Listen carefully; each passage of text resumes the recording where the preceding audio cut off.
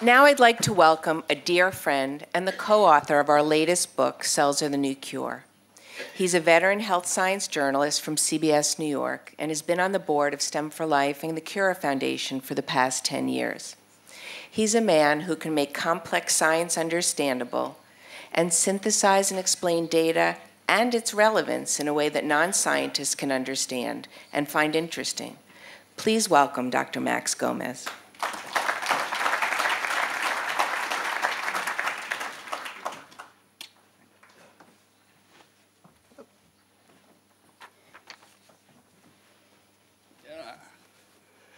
Good morning. Good morning, everyone. We're going to hear some very exciting things this morning, as you've already begun to hear. As you've heard this morning, our mission for this conference is to unite decision makers and researchers to encourage multidisciplinary collaboration to help grow healthy communities around the world. Our first panel this morning brings together four such thought leaders who will address some of our most pressing global disease challenges as you'll see in this video.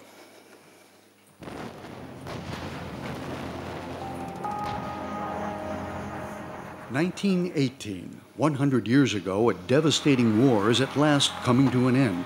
But amid the celebrations, a shadow is spreading. A deadly virus that would infect a third of the global population. Called the Spanish flu, it claimed more lives than the war itself 20 to as many as 40 million people perished in every corner of the world. Today, influenza is still a threat, but vaccines are now available to combat it and other dreaded diseases. Smallpox is gone, polio and measles are greatly diminished. And while communicable diseases continue to wreak havoc, exacerbated by natural disasters, inadequate infrastructure, and air travel allowing infection to hop from country to country within hours.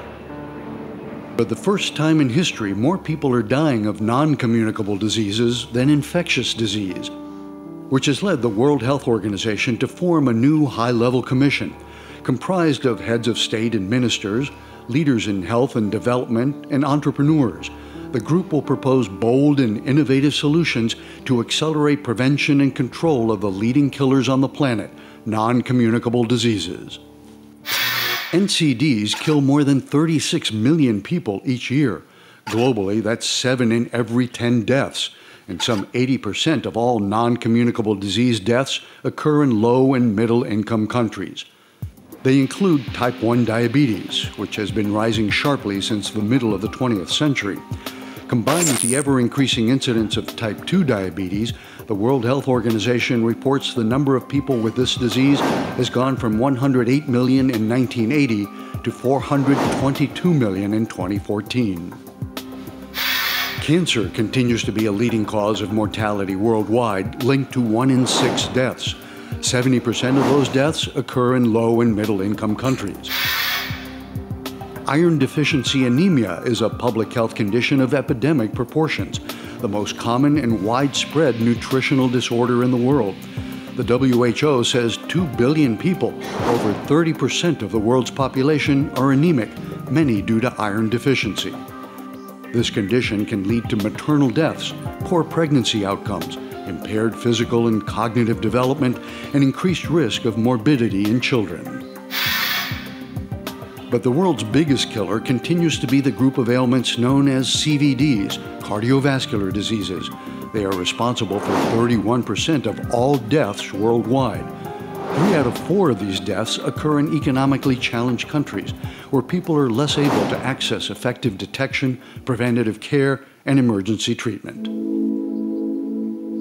Still, the loss of human life from NCDs spares no one rich or poor, young or old, and it imposes heavy economic costs on nations. Yet non communicable diseases are often preventable through effective and relatively low cost interventions that tackle risk factors shared by many of them. As laid out in the WHO Best Buys publication, these include reducing tobacco use, improving unhealthy diets, increasing physical activity, and reducing the harmful use of alcohol. If the major risk factors for NCDs were eliminated, about three quarters of heart disease, stroke, and type 2 diabetes would be prevented, and 40% of cancer would also be prevented. The scientific and social responses to public health crises in the last century prove that humanity is capable of meeting the needs of the next. Discoveries and advances now being made could transform the future if we unite to cure. The need for a global healthcare initiative is now more urgent than ever.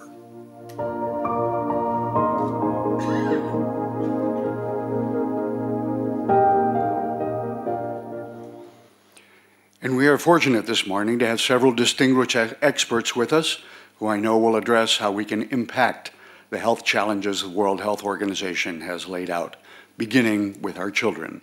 So please welcome Dr. Ronald DePinho, Dr. Gina Astriatiru, it's close, Dr. Michael Farkouh, and Dr. Richard Derman.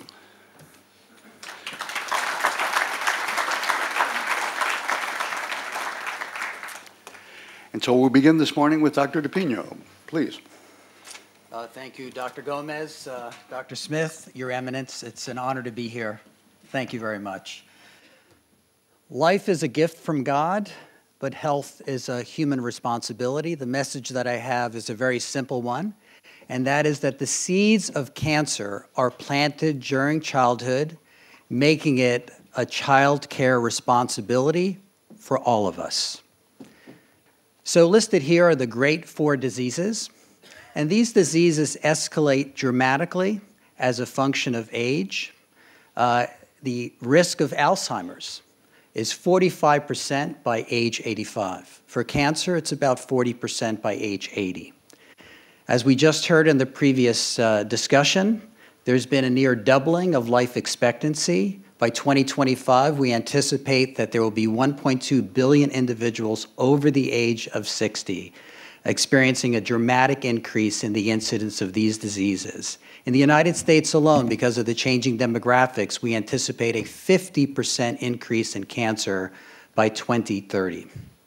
So uh, we also have a very significant societal and economic impact. With respect to cancer, one in two men, one in three women will experience cancer in their lifetime. We also know that cancer will claim 100 million lives over the next decade. And it has an enormous economic impact, 3 trillion at least globally per year, a generational impact of $100 trillion worldwide. Fortunately, Cancer has one vulnerability, and that is knowledge. Up to 50% of cancers can be prevented. And thanks to science, we have a lot of understanding of what illuminates uh, cancer. Uh, tobacco is the single most important cause, responsible for 20% of all deaths, 30% of all cancer deaths. Excessive UV exposure, particularly during childhood, is a major instigator of a lethal skin cancer known as melanoma. Childhood obesity can also result in increased uh, cancers of the uterus, amongst others. And there are, are cancer causing viruses uh, that extract a very significant toll. Two of them are listed here hepatitis B virus, but also human papillomavirus, which causes 600,000 cancer cases throughout the world every single year uh, and is responsible for development of cervical cancer, throat cancer, amongst other cancers. So there's much that we can do. We tend to think of cancer as a disease of the aged. However, the opportunity to prevent cancer starts during childhood. Uh, let's begin with tobacco. Tobacco uh, is uh, the real major public health problem. It will claim 1 billion premature deaths over the next century. Uh, the important thing to appreciate is that most adult smokers start as children. Uh, this is Big Tobacco's effort to really get the customer, uh, lifelong customers. More than 95% of adult smokers start before the age of 21. There are many things that we know we can do uh, that require the collective action, both on the policy side as well as the treatment side, such as cessation. Uh, just one example is raising the age of purchase to 21, which would lead to a 10% reduction in uh, both use and death. And tobacco treatment programs have enormous success. Self quit is only 6%, tobacco treatment programs up to 45% success rate. In the case of UV, uh, we have uh, excessive exposures Two skin peeling sunburns or use of tanning beds uh, can double the risk of melanoma decades later. There's been a 700% increase in melanoma in women because of the culture of tanning. Uh, but here again, there are important opportunities in policy and education, tanning bed laws to prevent minors from access to tanning beds, uh, K 12 educational opportunities in sun protection, and just annual skin exams can dramatically reduce death from melanoma by catching it at early curable stages. In the area of vaccines, I want to highlight one in particular, which is HPV. This has been a dream come true that we have a safe and effective vaccine that can prevent a lot of pain and suffering. 85% of those with HPV associated cancers occur in the impoverished, the forgotten. Uh, and in the United States alone, there are 40,000 cancers that result from HPV. We have a safe and effective vaccine given to many millions. Two shots optimally at age 11 can prevent up to 90% of HPV associated cancers, and it's critical that we educate pediatricians and parents alike. This would be the equivalent of not recommending a colonoscopy of an internist for a 50 year old. This is a critical opportunity that pediatricians, parents have to get behind. In the area of obesity, we have much we can do. Uh, exercise, just 15 minutes of exercise per day increases your life expectancy by three years and reduces the incidence of cancer, diabetes, heart disease, and Alzheimer's by 14%. Uh, management of chronic unrelenting stress, and also uh, maintaining good BMI through proper diet. And with kids, it's about avoiding sugary drinks. So I have uh, two major areas and just only three major recommendations that would have a profound impact on cancer incidence. In the area of public policy, raising the age of purchase to 21 coupled with raising taxes and smoke free would have a profound impact on use. Tanning bed legislation should be on the federal level. And we also have important opportunities to increase access to HPV vaccination and make it free. Uh, the cost of getting those cancers are much, much greater. Those are just three examples of what we can do collectively as governments, faith based organizations, education systems, philanthropists, care delivery systems, and so on. It will take our collective effort.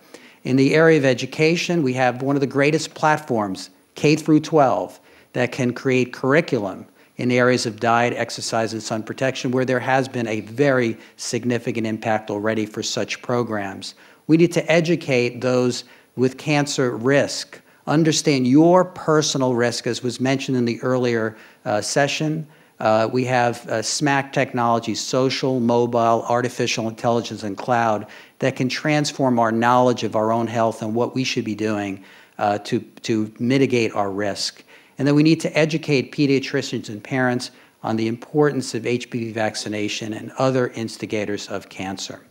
So when we think about um, impacting the cancer problem globally, there are really two domains. One is on the personal level, the other one is on the public health level, a policy level. And here on the personal level, there are many things that we can do to improve our health and well-being that are listed here, and these are common sense things uh, that we can discuss in the Q&A. And then also on the population level, policy, education, and community services have a huge impact, and the impact is greatest on the underserved, the less fortunate. So I'll end here with a quote from Hippocrates The function of protecting and developing health must rank even above that of restoring it when it is impaired. Thank you very much.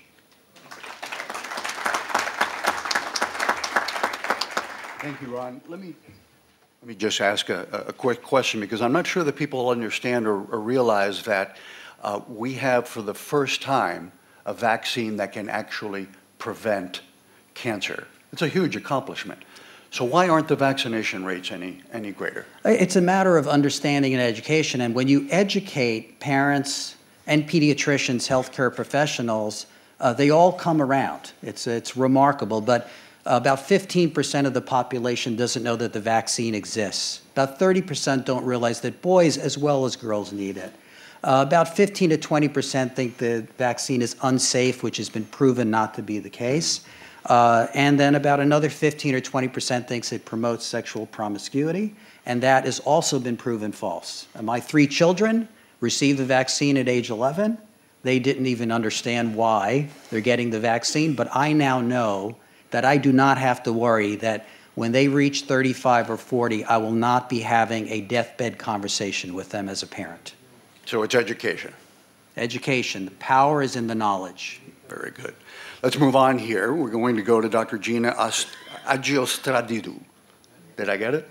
Yes, Can I call you Dr. Gina from now on? just, Okay. just Gina. Thank you. Just Gina. Please. Hello, everybody. Um, oh, yes, this is me.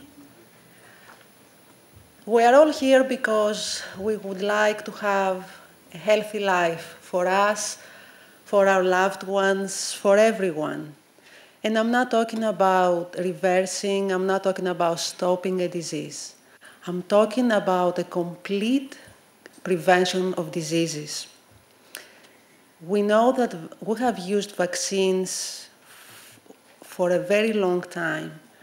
We have eradicated many childhood diseases. We just heard about the HPV vaccine that prevents HPV related cancers 90%. That's, that's really amazing.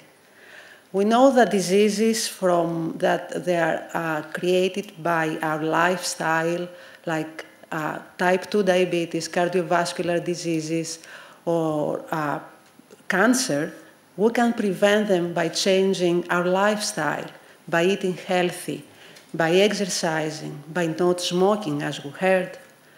But what about diseases that we do not know how they develop, like type 1 diabetes? Type 1 diabetes is an autoimmune disease. Our body attacks the cells that produce insulin. It's random, and the first signs of autoimmunity appear in very early life. People with, type 1 diabetes, they need to inject themselves every day. Type 1 diabetes is a relentless disease. It's the only disease I know where parents, caregivers, and patients they have to make decisions for a drug that they can, it can kill them. And they have to do this every day, multiple times a day, for the rest of their lives, without the benefit of a clinician. This is one disease.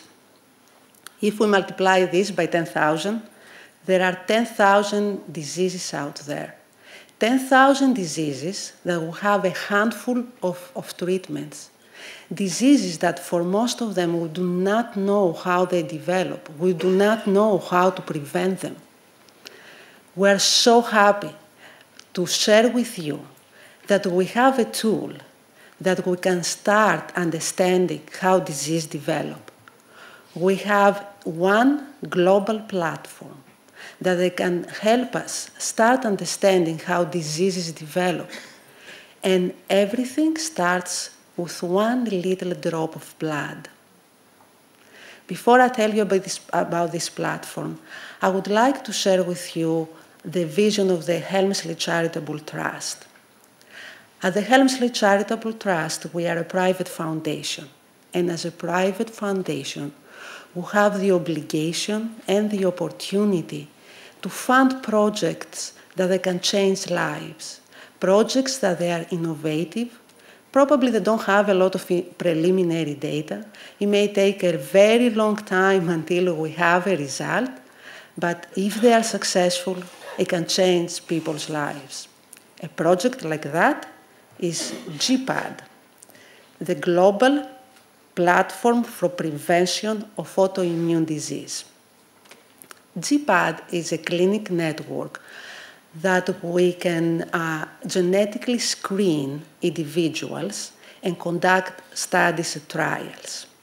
We want to be global. At the moment, it operates among five countries. GPAD uh, genetically screen individuals uh, from, in the general population and newborns because we believe that most diseases like type 1 diabetes it's random and it happens very early in life how the type 1 diabetes program of the Helmsley Trust is using GPAD.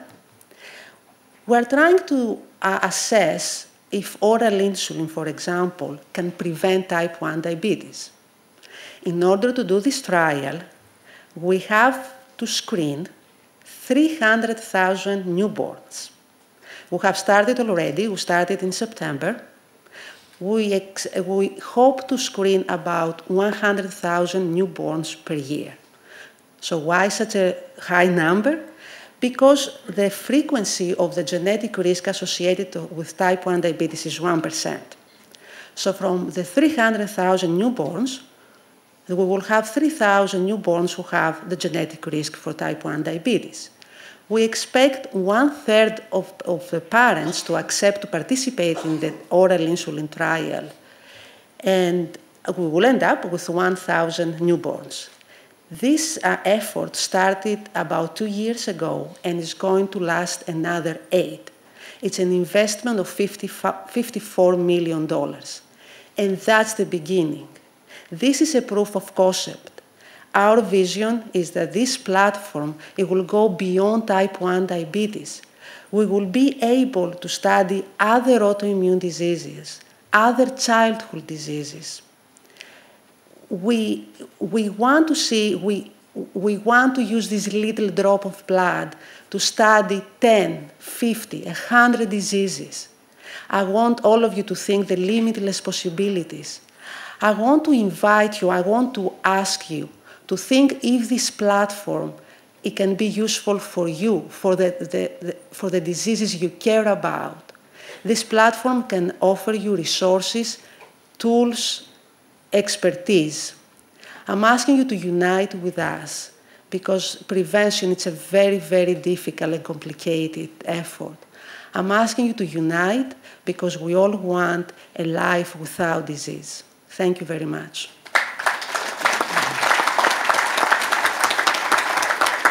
So, Gina, this. Gina, this is, uh, uh, as, as Ron said, many of these non communicable diseases have risk factors that are lifestyle related that we can control. This is one where it is not a lifestyle uh, issue. So, beyond type 1 diabetes, what else might GPAD be able to impact, and what kind of a uh, implication does that have for public health? I think the GPAD, as I said, the GPAD platform gives access to so many people, so many newborns, any disease that has a genetic component, but we do not know the environmental factors, it can be the beginning of understanding other autoimmune diseases, other childhood diseases. I strongly believe that prevention can be, it has to be a public, public health affair. I believe that we can, if we change our lifestyles, if we start studying diseases, one day everybody can have and lead a healthy life. Cost would be an issue, however, to, and that's why we're in, you're in developed countries mm-hmm. here initially, but that's a big, that would be a big deal uh, going forward. How do you expand that? I think cost, you know, if you prevent diseases, there is no cost for treatments. uh, uh, in all our actual projects, uh, we do a cost, cost effectiveness. Uh, it's very important for us to know that whatever we support, and even with the GPAD, we ensure that they can be expanded, they can be scaled up. And when we said about scale up, we need to use governments, authorities, everyone. And not only developing countries, we really think about uh, type 1 diabetes beyond developing countries. We think about countries in sub-Saharan Africa that don't have access, you know, to insulin. Uh, we're trying to think beyond what we have in front of us. Uh, we live in a global world and we have to think beyond what we know. And I think we can do that only if we all united for, for you know, for a very simple cause. Exactly. I think our message today is to think big throughout the entire throughout the entire conference. Our next presenter is Dr. Michael Farkouh, who is going to speak to us about cardiovascular diseases. Michael. Thank you for having me. It's a great privilege to be here and talk about the number one killer, cardiovascular disease, worldwide. And our community has come together over the last several decades to make an impact on this important disease process. And I'm going to focus on coronary artery disease, but we need out of the box thinking. We have huge challenges, and as this epidemic uh, is, is extended to low and middle income countries, we're facing huge global challenges. When we talk about the challenges, we face individual patients. This picture really illustrates what we face in our clinics. We have folks that are sedentary, physical inactivity, dietary indiscretion. And there are also psychological factors that are at play here. And I've always wondered why would someone take the time and effort to put a dog on a treadmill when it's so much easier to go on the treadmill themselves? And these are the challenges we face. And I want to highlight one important feature that comes out of this as well, which is the lack of adherence and compliance to the therapies that we prescribe. So we're dealing with humans and human challenges, and I think that has to be at the forefront of all of our recommendations. Coronary heart disease has known traditional risk factors. We know them cigarette smoking, elevated total cholesterol, and LDL cholesterol, which we call the bad cholesterol, and low HDL cholesterol, which is what we term the good cholesterol, hypertension, and a family history of premature cardiovascular disease, coronary heart disease. And of course, age, which is a non modifiable risk factor, all at play. But there are other risk factors that are now emerging. Of course, we've talked about obesity and the, the role of central obesity, abdominal and visceral obesity in this epidemic, physical inactivity, which is uh, a global challenge, and the role of inflammation. And later today, Dr. Peter Libby, who's a luminary in this field, will be addressing this role of inflammation in our disease process. Now, we have challenges in the United States, and I want to just look over the last 20 years from 1994 to 2014. We've had almost a doubling, if you look at the color scheme, a doubling in the risk of obesity and the top panel prevalence and in the prevalence of diabetes. This happened over 20 years. So we can talk about genetic factors and environmental factors, but this may have happened because of one issue, which was public health policy. The Framingham study many years ago showed us that diets high in saturated fat would be linked to cardiovascular disease, and policies were made to have low fat diets. Well, what did we substitute for low fat diet? High carbohydrate diet. So maybe our, the best of intentions with health policy changes may have led to an epidemic that we have, particularly in the United States and in the developed world. In 2011, the United Nations convened a commission on non communicable diseases and my colleagues have alluded to uh, these uh, measures from the World Health uh, Organization, which targeted a reduction of non-communicable diseases by 25% by the year 2025, which is a huge goal, but if achievable would make monumental progress. And we talked about uh, these factors, including accelerated tobacco control, reducing dietary salt consumption, treating patients at high risk for cardiovascular disease, reducing alcohol consumption, and reducing physical inactivity. And my colleague Eva Grunfeld, who is here today, has designed a program that tackles non-communicable diseases as a totality in terms of interventions that we can implement in the clinic so that we can tackle not only the risk factors for cardiovascular disease, but the common risk factors for cancer, neurodegenerative disease, and the development of diabetes. Now, there are global challenges. Low and middle income countries are moving from rural uh, rural populations moving to higher urban settings, urbanization. The example of the Grenada Heart Project, which we instituted a few years back with the World Health, World Heart Federation, you can see that over 25 years, the island of Grenada changed 100,000 people that we've been monitoring for cardiovascular risk factors and for the development of coronary heart disease. And what we're seeing is increasing risk factors, particularly hypertension and obesity, as people become urbanized. We haven't yet seen the epidemic of the heart disease, the myocardial infarction or heart attacks, strokes coming, but that's the wave, the tsunami, that if we don't stop it in these countries, we're going to face insurmountable challenges.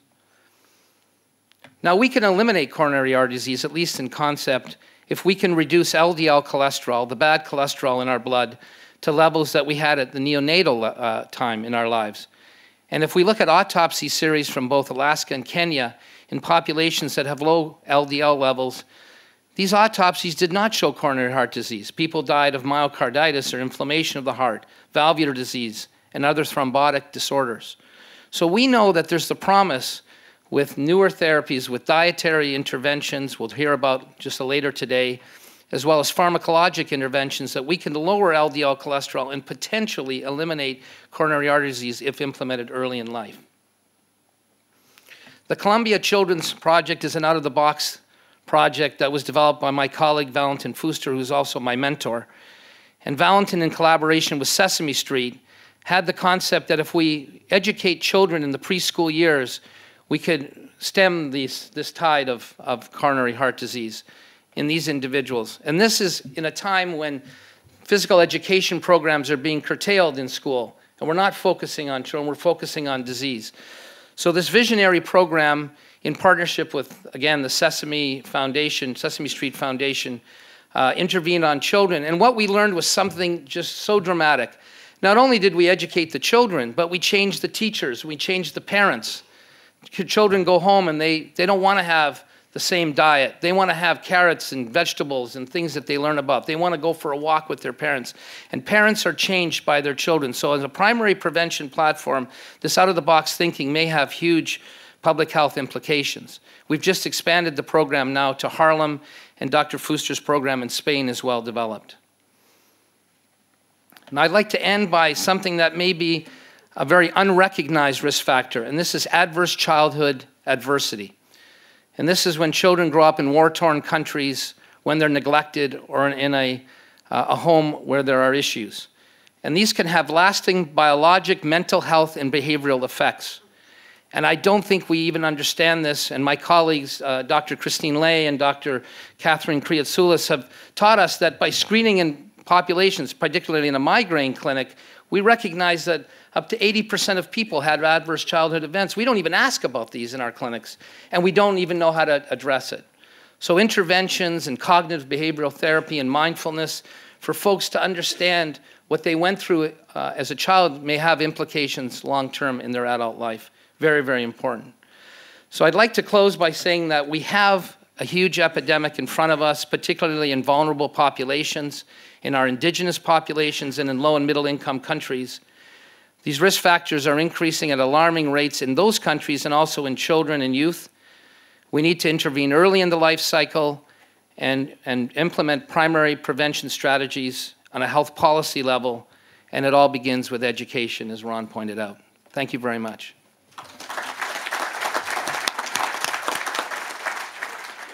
So, Michael, as you pointed out, we have interventions. We have pharmacological therapies that can lower LDL. We have behavioral interventions that have some impact. What's the low-hanging fruit, if you will? Where do we go first? What, what's going to give us the most bang for our buck to at least get started towards that 2025 goal? Well, I think uh, obviously we talked about tobacco uh, tobacco issues and uh, restricting tobacco use, very big. The dietary interventions are huge. But I think one of the biggest issues we have, because we have these interventions and we know about the science is well developed, uh, I think there are two fronts. One is compliance and adherence of patients to these interventions. What makes people have a sedentary lifestyle when they know what they have to do and they're looking for the magic bullet?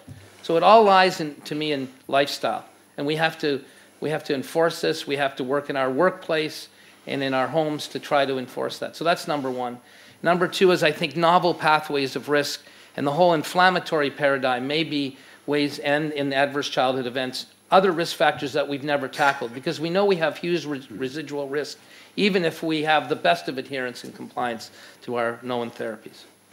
So you're saying behavioral modification is the low-hanging fruit? Uh, I, I, I think that ways in which we can encourage people and, and have out-of-the-box thinking is the way to go. It's not easy.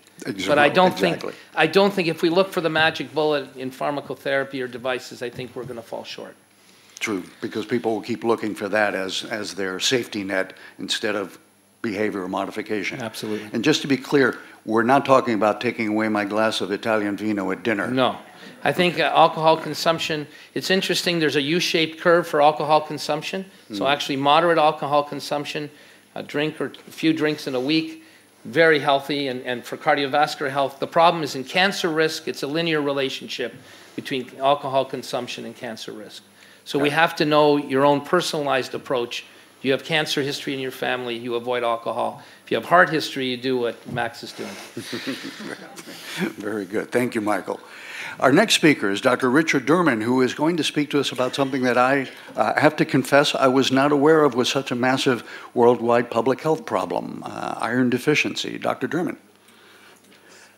So you're not alone, Max. Uh, and, and it's very exciting to hear about new advances in cancer prevention, in heart disease prevention, uh, in diabetes and type 1 diabetes.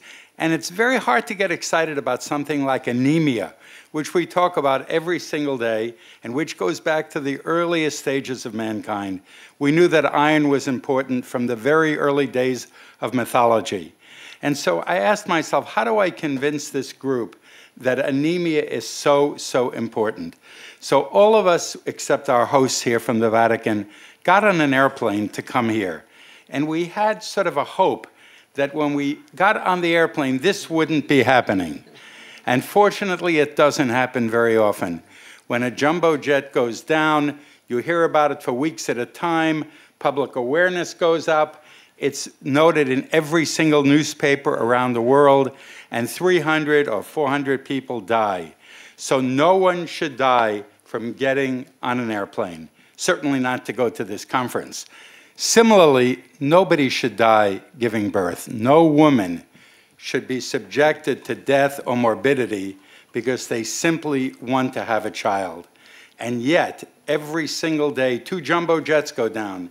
In the 10 minutes that I have allotted to me, five women are going to die uh, during the course of childbirth. And we know that 90% of this is actually preventable. So we know why women die. There are no secrets here. 80% of women die in childbirth from three conditions severe bleeding, which is postpartum hemorrhage, increased blood pressure, hypertensive disorders of pregnancy, and infection. Very, very simple. And we can go ahead and correct 90% of this but when we look around in terms of correcting this, we ask ourselves, is there a common thread? Just as we're going to hear later in, in this discussion, the importance of inflammation. Well, the common thread, in fact, may be anemia. Just last month in The Lancet, there was a report showing that anemia in pregnancy doubles the risk of death. This was a major finding. Those of us who worked in the field really felt that, but it was nice to see this published. Anemia in pregnancy, in fact, is a contributor or sole cause of 20 to 40% of all maternal deaths. And yet, about 42% of all pregnant women suffer from anemia. All of disability, about 9% of total disability in, in the world, is related to anemia. So we know that the lower the hemoglobin, the worse the pregnancy outcome, not only for the mother, but for the baby as well. So there's an increase in postpartum hemorrhage. There's an increase in cesarean section rates. There's an increase in sepsis infection. In the newborns, if many, many stillbirths occur because of anemia, there's an increase in prematurity. And you know, prematurity is the leading cause of death in children under the age of five. What's more recent is the fact that these children who are born with anemia and other micronutrient deficiencies have decreased cognitive performance, decreased physical growth, uh, increase in behavioral deficits, and this is something that we need to address, especially areas like cerebral palsy. So the iron demands in pregnancy go up. They're increased two to threefold in terms of what we usually take in our body. Part of it is because the fluid volume is increased. We have to support the growing fetus, especially in the second half of pregnancy, and we have to account for the blood loss that occurs at delivery. Ferritin is a protein that we now know stores iron and releases it in a controlled fashion. And I only mention ferritin for one reason. We've just discovered recently that if you go too low in ferritin levels, the baby's brain does not get enough iron.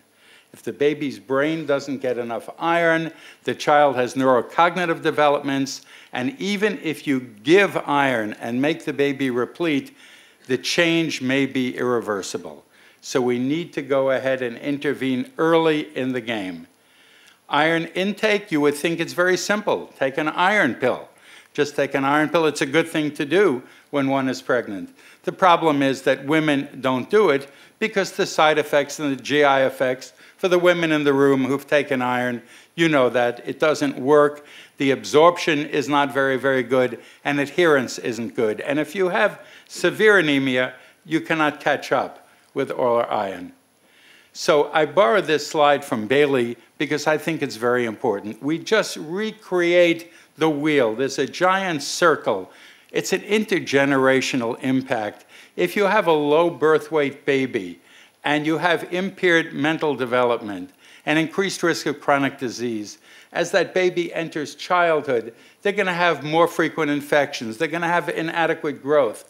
There's going to be a higher mortality rate. If they live and they begin to have menstrual periods, they're going to lose more blood. They're going to become stunted.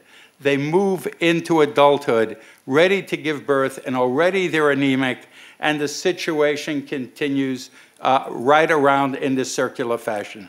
So we need to intervene. We've had a 40-year history, and we've made no changes. In fact, the condition seems to be getting worse. So one new approach, which we're beginning, is the use of IV iron. It seems very simple. But until recently, we didn't have formulations that we could give a single infusion at the end of the second trimester or beginning of the third trimester.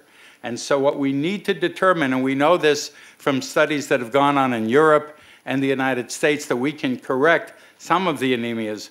Will we be able to correct the severe anemias? We need to do this study. We need to follow these babies and make certain that the neurocognitive changes do not occur. And now there are four different formulations out there, and we need to work with our manufacturers to determine which is the best one, which will give us public sector pricing, who will give us the drug free of charge to go ahead and move forward with this agenda. So the Brits are well ahead of the Americans in this regard. We are behind in preterm birth, we're behind in maternal mortality, and the British Blood Transfusion Society says very simply, if your hemoglobin level is under 8 grams per deciliter, uh, and, it's, and you should go ahead and use IV iron. If you have newly diagnosed anemia after 34 weeks, use IV iron. And women who cannot take oral iron ought to consider IV iron. So let's get on the bandwagon. Uh, you know, I, am going to just quote from Ernest Yeboah, a very famous thinker and philosopher from Ghana. He said, We fail to open the right doors because we fail to pick the right keys. I think we know what the keys are. It's just a matter of doing it the right way. And if we do that, if we rely on simulation, on checklists, on team training, we'll all have a happy and safe landing. And we're going to go ahead and hope that the women that we serve and the babies that are born can reach their full potential. Thank you.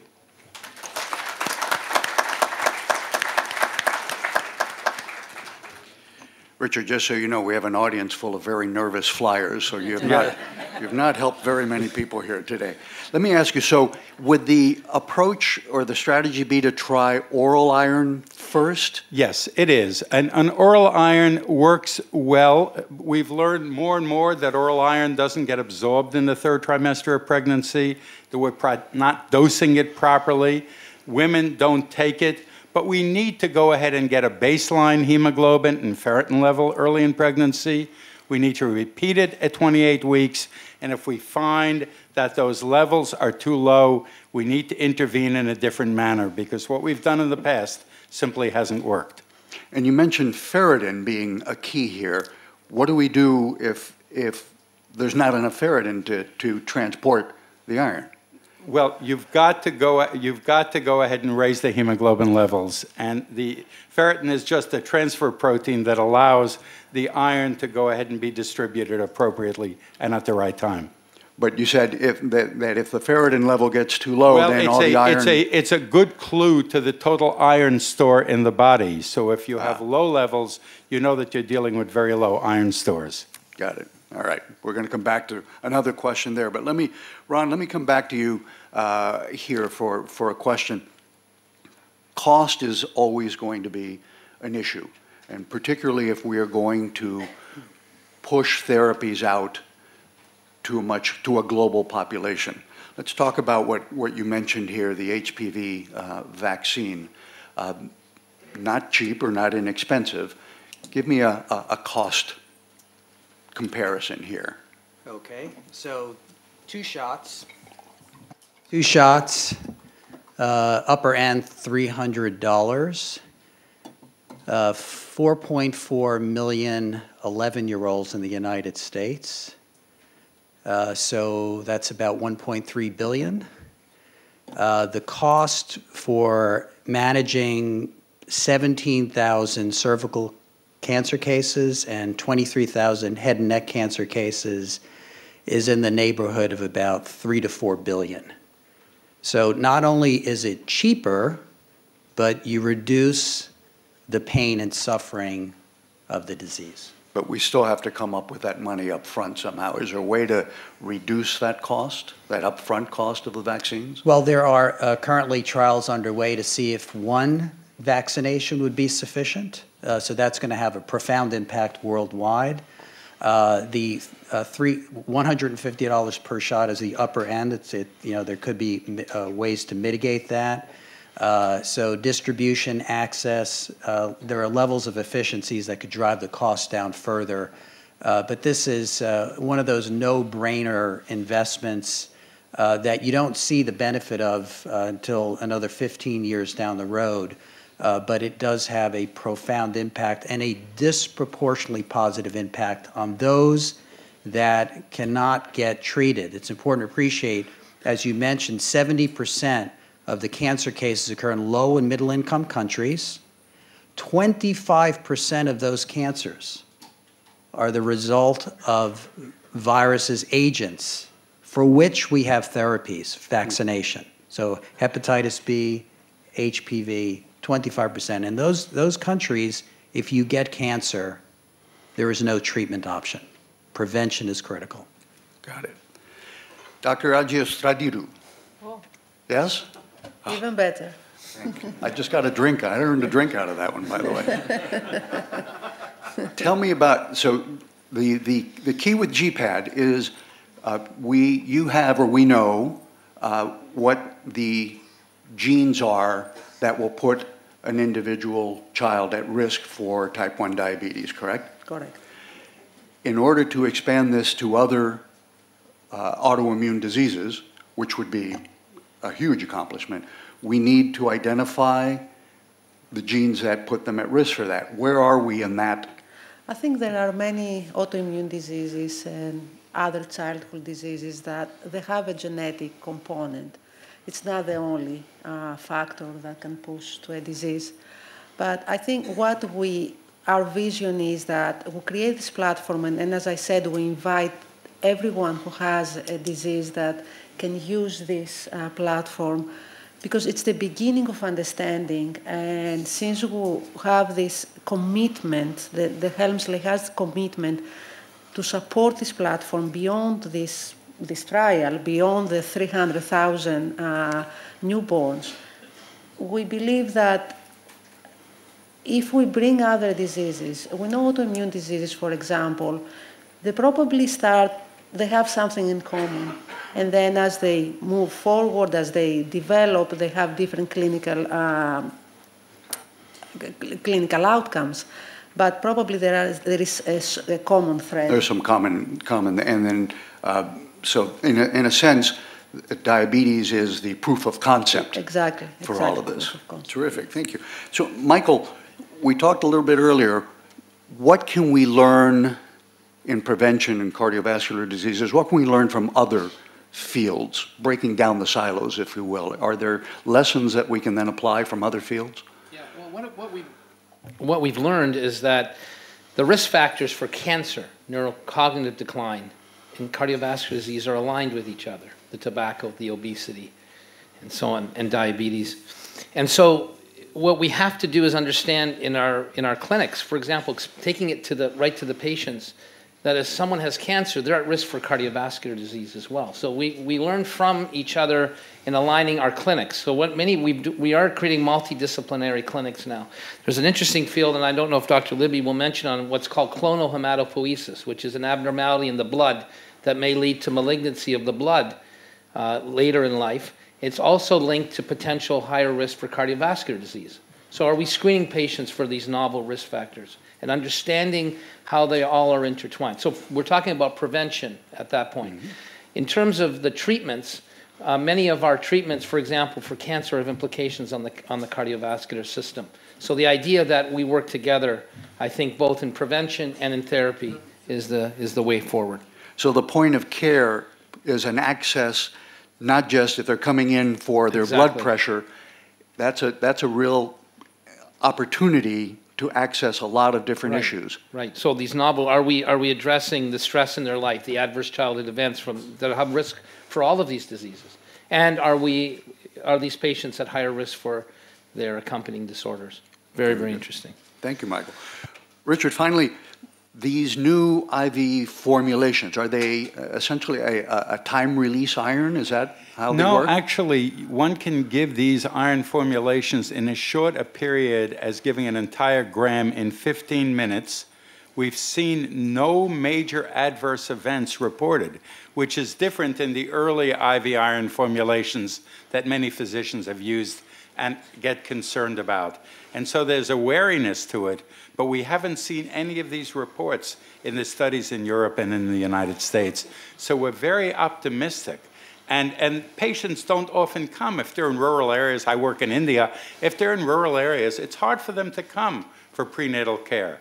If one can give a single dosing at that point of the end of the second or beginning of the thir- third trimester, rather than going ahead and monitoring whether they're taking oral iron, we will stay ahead of the curve. And is that doable in rural areas, underdeveloped countries? I That's believe it is. and we, we've talked about the cost effectiveness here. We're not talking about thousands of dollars. We're talking about a minimum amount of investment to get a very, very dramatic return on that investment. Terrific. I want to thank our, our panel here. I think we have plenty of uh, food for thought, as it were, and we're only going to expand on that over the next two and two and a half days. So Thank you all, and thank you, panel.